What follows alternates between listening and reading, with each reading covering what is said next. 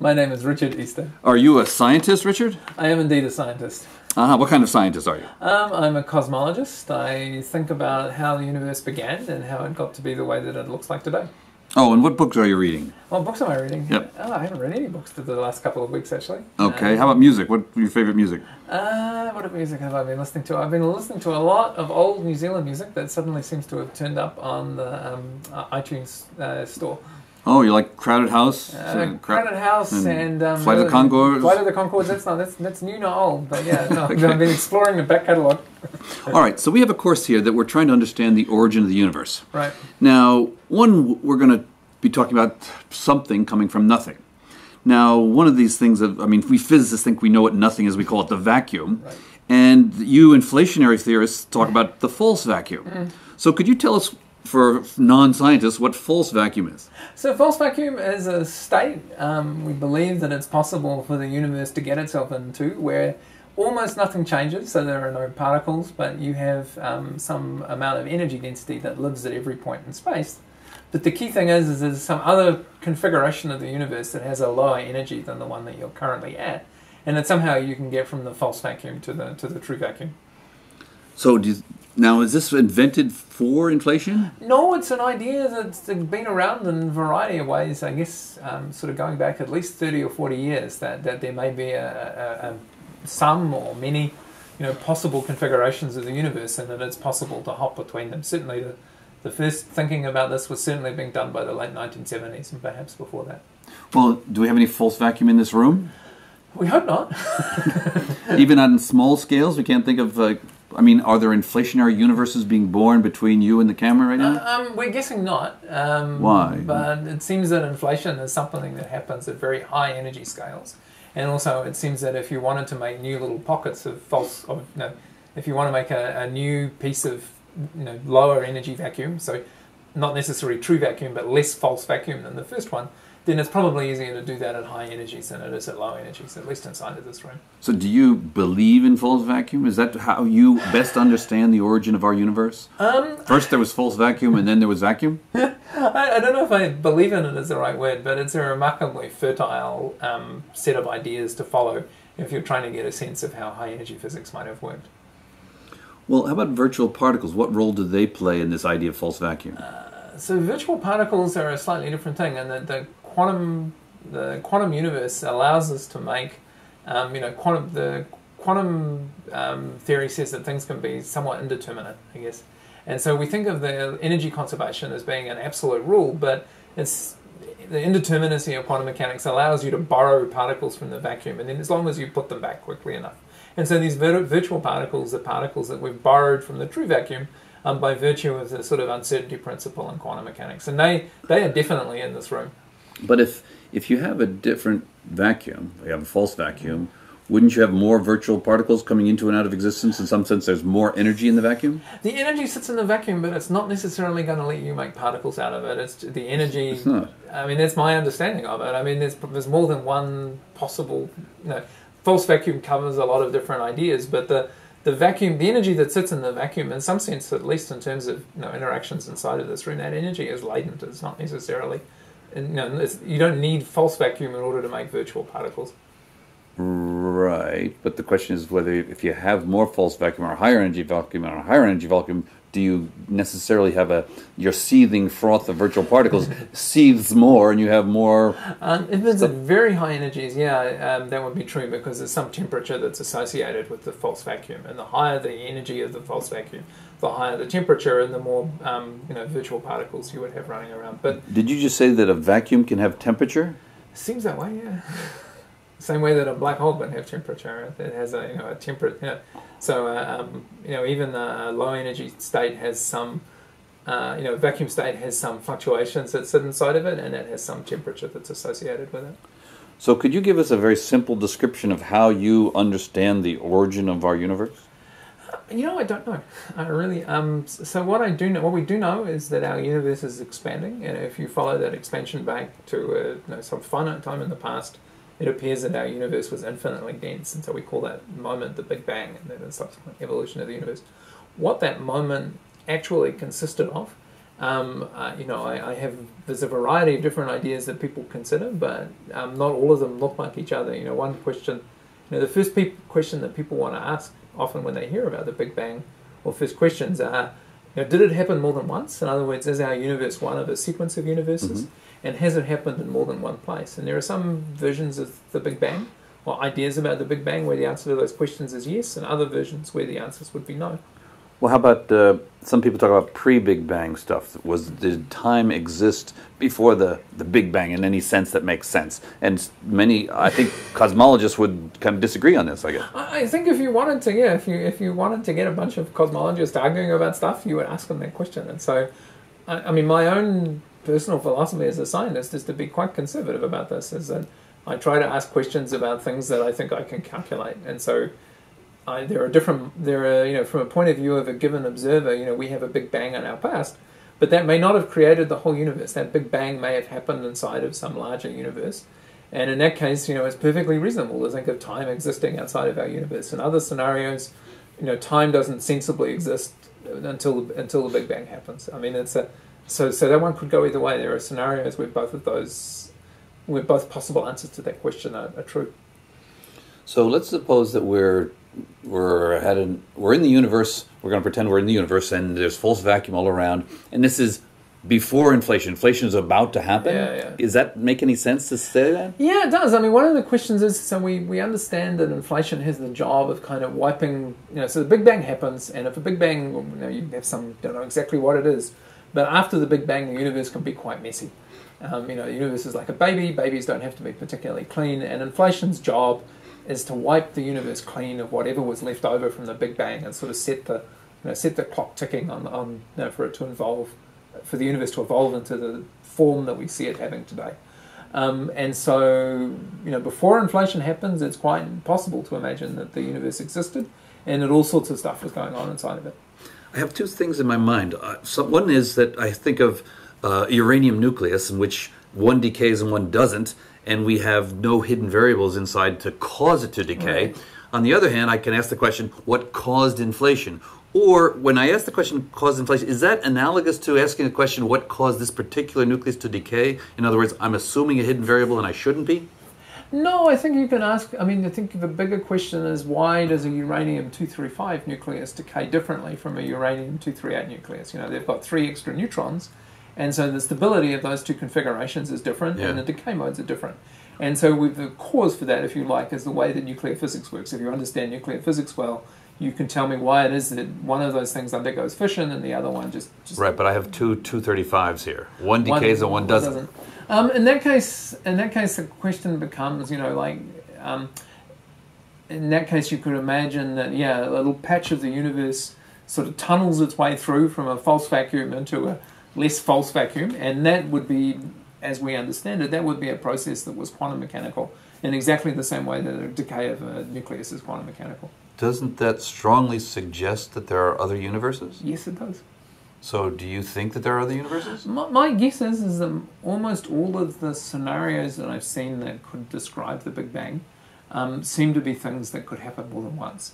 So, but you said could happen, not necessitate or strongly suggest happening more than once. I no, okay, I can see, I can see where you're going with this. No, my, my, I mean to be clear about this, my, I'm completely comfortable with the idea that our universe is not the only one. Um, because because for precisely the reasons that you said, you know, the universe keeps on. You know, if you have at least if you have a scenario of the Big Bang where you have this large false vacuum and you're propagating little pieces of that into the true vacuum then the region, you know, the false vacuum is continually replenishing itself because it's expanding. And so you would never get to a point where you'd run out of false vacuum and you'd turn it all into true vacuum. And so you'd be continually generating, you know, one new one universe after another inside of this. And that process, in principle, could happen, you know, for an infinite amount of time into the future. Can I?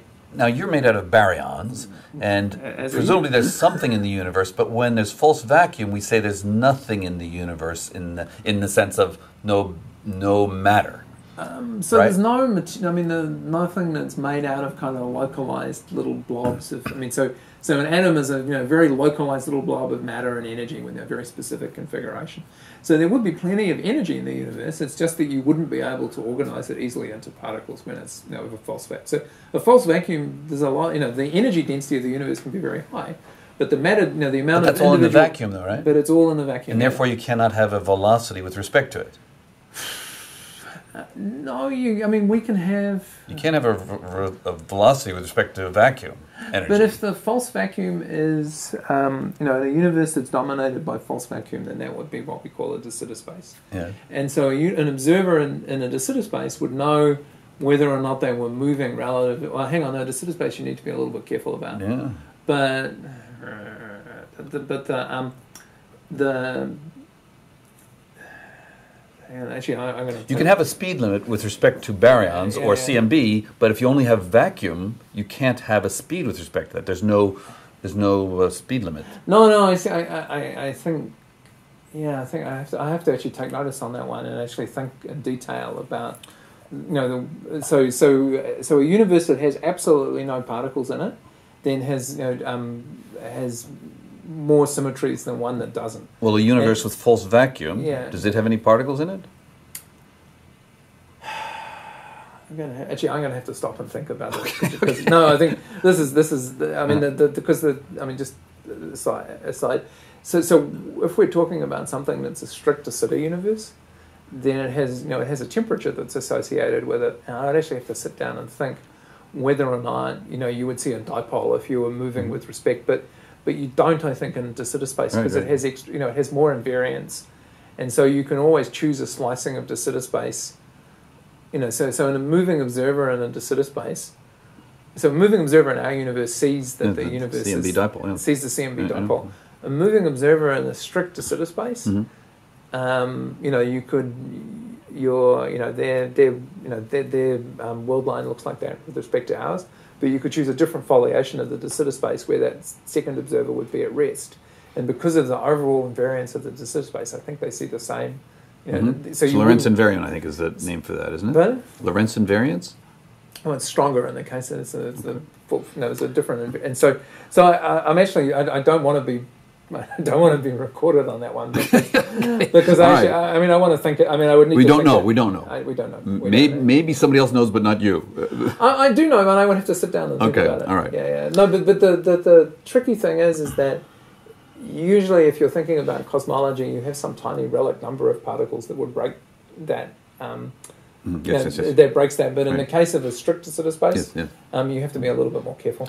Now, you mentioned that it's plausible and maybe even the favored model that there are other universes. Yeah. Now, often people say, well, since there are other universes, you can have different values of G or Q or C or, Mm-hmm. you know. Now, do you think that that. Now, if other universes are suggested by a quantum understanding of the origin of the universes, does that come along with different values of C and G? It doesn't need to. Um, So it you- doesn't. i- i- It's it's option. I mean, it's an extra layer of complexity. But is there anything about quantum theory that suggests that those vary? Or is this just mathematicians playing with generalizations? No, it, it depends on your particular. Again, it depends. You know, so we talk about a false vacuum and a true vacuum. And it's possible that there are many false vacua, each of which, you know, closer or further away from the true vacuum. In each of those individual false vacua, you might think that the fundamental constants of physics had had different values relative to each other. But it, it's not required that that is the case. I mean, it's, so you could certainly have a scenario where you had a false vacuum and a true vacuum, lots of universes that were being produced out of the false vacuum, all of which had the same basic laws of physics. Hmm. There are other scenarios where the basic laws of physics will be quite different.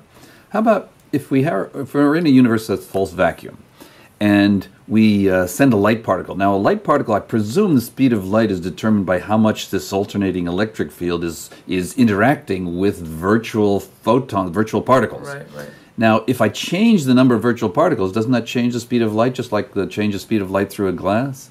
It has a different amount of material to interact with, and therefore it would change the speed. Or does that make no sense?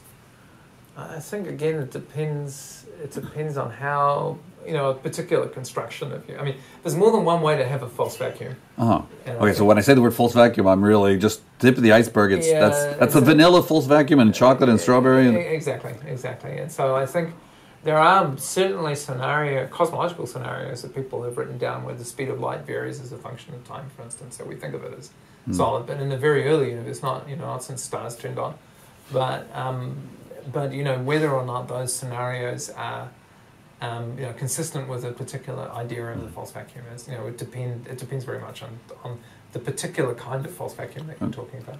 How about uh, do you think we're living in a simulation? No. Okay. All right.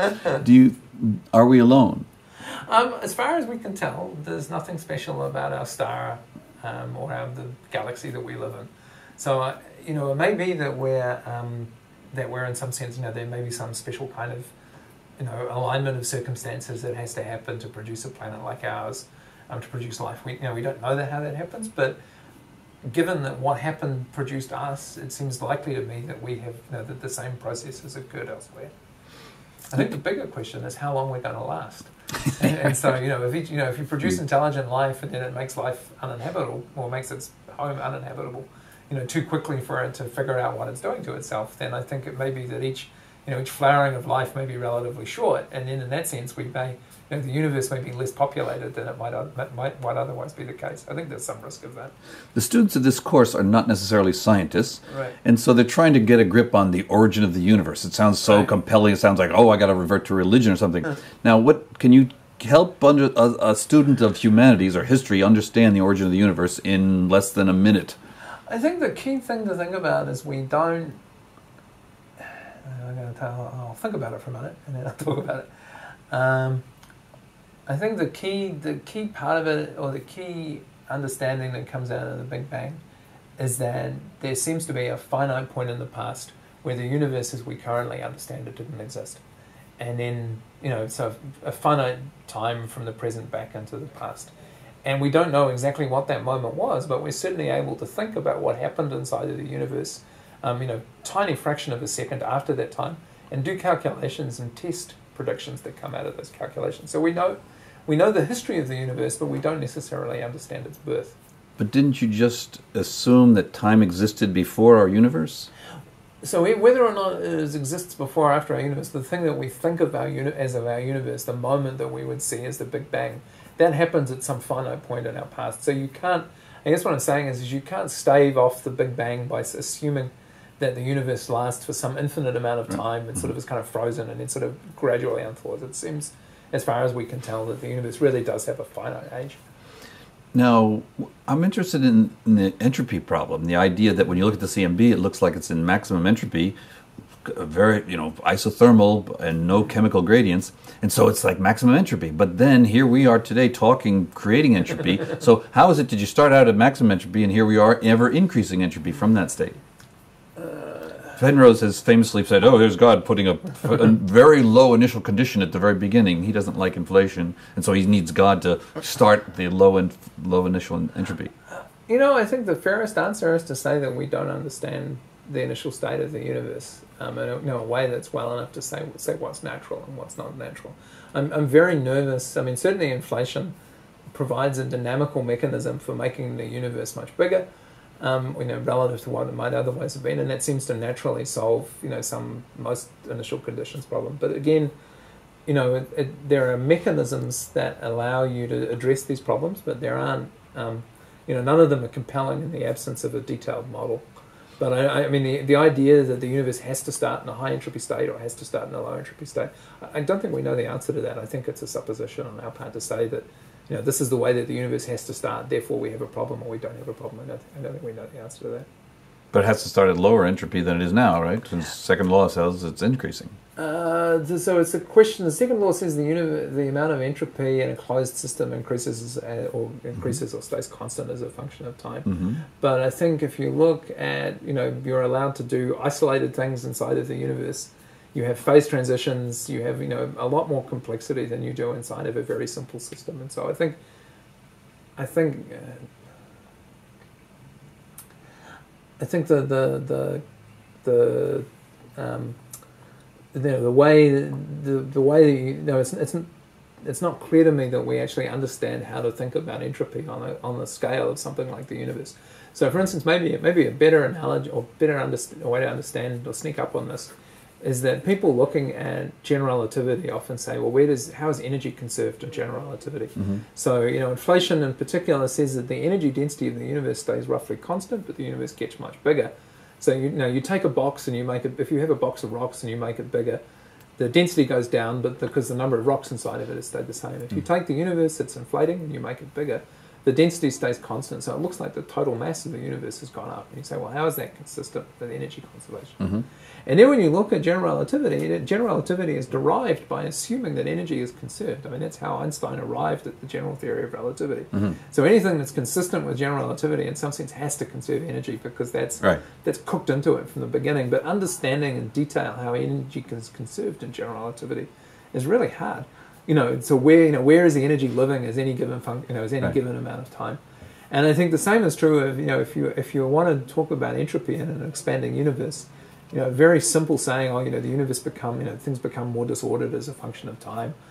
Uh, you know, I think I think you have to be very careful with those statements in, in an expanding universe because simply doing the math that accounts for where the you know, what's going on in terms of the thermodynamics, it's it's not at all trivial, and it's not at all clear that the universe is necessarily in thermal equilibrium for most of its you know, life. So you have you know non-equilibrium thermodynamics, which makes you know, things things intrinsically more complex than they might be. So I'm, I'm very nervous about arguments about entropy, or very simple arguments about entropy, is that then allow you to draw conclusions about the way that the universe has to be.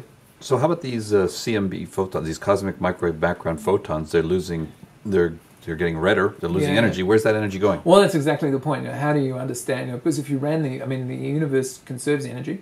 So if you ran in a collapsing universe, the the energy would be coming back from somewhere. So suddenly, somehow or other, that energy is is oh. stored inside of the larger universe. But we, it's very hard to put your finger on exactly. Well, how about lambda? If the universe is expanding, there's more energy density in it. So where did that energy come from? Well, that, that one in some ways is easier to understand. So if you look at a cosmological constant and you say, well, imagine imagine I take a spring and I stretch it, and so I put energy into the spring as I stretch it. Um, you know, the the total, you know, the energy density of the spring in terms of you know a linear spring wouldn't drop away as fast as it would if, if I you know if I hadn't had to store that extra energy in because the energy has some mass. And so cosmological constant is really saying that the universe has, you know, it's a sort of spring that you have to you have to work in order to stretch it, and you're pulling in each direction. And so you're storing energy in the universe by making it larger because it's the energy that's associated with the you know with the stretching, and the space is slightly stretchy. And as you stretch space, you have to store energy in, in to make that happen. So I think in that sense, we know where that energy is coming from.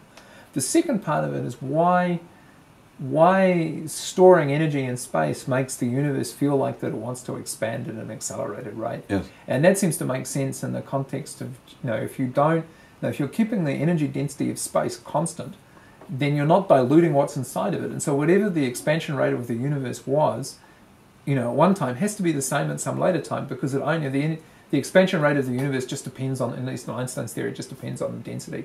And so, you know, there's a there's a you know the the the the natural assumption to make is, is that if the universe has a lot of you know if you if you you know if you have to stretch the universe that it would that would actually slow it down rather than speed it up. But what it really does is it keeps the density fixed, and it's the density that determines how fast the universe expands, and that keeps the expansion rate of the universe fixed. I mean, it's a it's a technical argument because it relies on the way that general no, expanding universe works in general relativity, but it's one that I think makes sense to a working cosmologist. Are you the result of a quantum fluctuation? As, as, as are we all, it would seem to be. Not me personally. okay.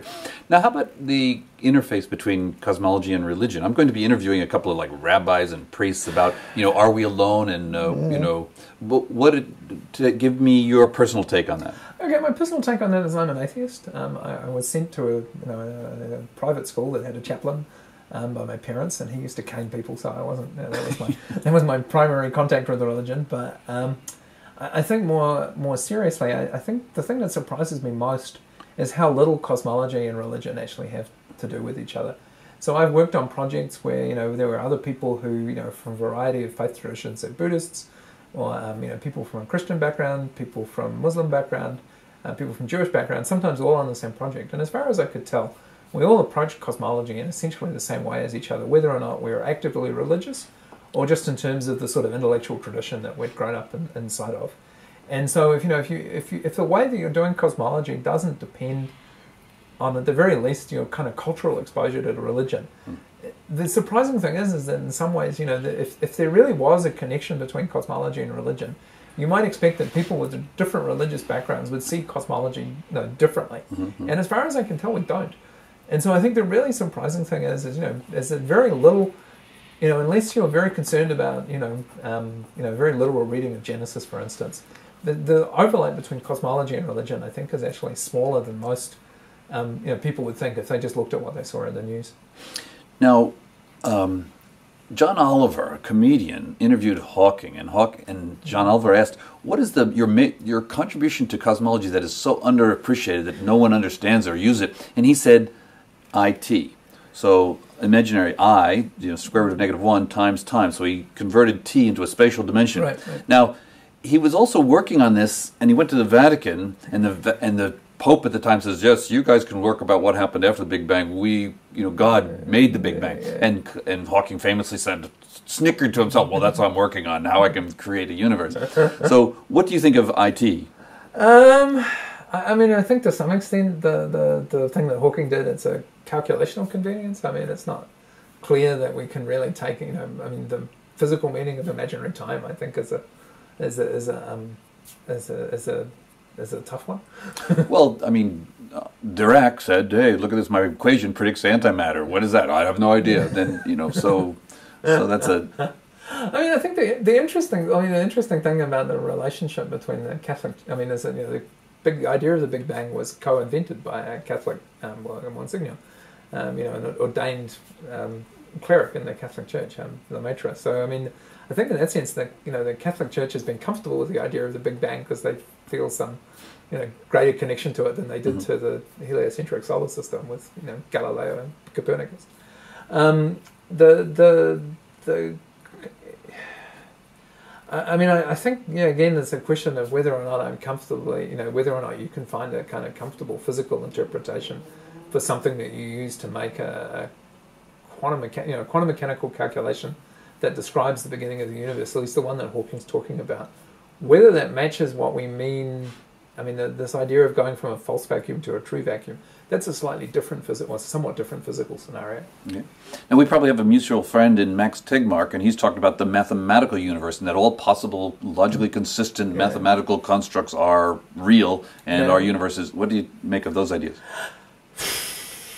I think that the, you know, I mean, so this is like different levels of multiverse. I mean, I don't. I mean, to be honest, I don't know whether or not I, I, I would necessarily trust my weight to some of the more the stronger statements there. I mean, and maybe the large chunks of mathematics are sort of, you know that you don't. Re- I mean, I don't know that you really have any choice about mathematical truth. I think you know mm. that's something that may exist independently of the sort of you know the physical nature of the universe. So I mean, I'm, yeah, I'm, I'm somewhat. Okay. I'm not. Yeah. How how about Lee Smolin wrote a book called Life of the Cosmos, in which Darwinism was invoked as a, some type of way to, I don't know, Mhm. weed out uh, universes that didn't produce as many multi, uh, many baby universes. What do you think of those ideas? Um, I, I, I'm familiar with Lee's work on that. Personally, I'm, I'm less comfortable with that because I think it doesn't seem to me that our uni- I mean, so I think his argument was the universe tries to produce as many black holes as it can, and then you produce new universes inside of those black holes. I mean, firstly, the idea that there's a new universe inside of a black hole, I think, is contentious. But secondly, I could see ways to twiddle parameters in our universe that will produce a lot more black holes than we currently have. Mhm. So if it's true that we should have a maximal number of black Mhm. holes in our universe, then that doesn't seem to be the case. So you think we already know that the, the rate of black hole production is not optimal given the parameters of our universe? That's my belief. Yeah. So Oh. I'm thinking in that sense, I'm thinking that Lee's this idea of Lee's is probably is probably not one that describes our universe. Uh-huh. Have you published that? Is that I, I don't know that. I have never read that paper. Um, I, I don't know that I've ever actually seen a place where Lee's published this idea in a peer in you know in, Right, a, right. in a paper. I think it's in his book, but I don't think I mean I actually looked for it once and Mhm. and, and but I, I remember actually seeing him give a talk on it, and the same idea appeared. No, appeal, you know, and when he, I mean I've seen him give a talk on that, and I wasn't the only person in the audience to be struck by that thought. Now we talked about whether in these these other universes that are suggested by quantum mechanics that maybe C and G quantum mechanics does not suggest that C and G could be different, but does it suggest that the degree of baryon asymmetry of these other universes could be different. That, that's something that's very easy to imagine. You know, many mechanisms that would produce baryon asymmetry in our Different amounts. would, would produce different amounts in different places. Yeah. So you think that is a legitimate variable in this multiverse scenario? yes, yes. Much more legitimate than C or G variation? Um, yeah, I think G is likely. I mean, G is more likely to be something that's already cooked into the universe by the time you're producing baby universes. Likewise, C, um, baryon, and you know those are dimensionful quantities, and so usually you can only you're only going to be aware of you know numbers that don't have units associated with them changing from one place to another. Uh-huh. Um, but I think you know something like baryon asymmetry, it's easy to imagine that changing from place to place.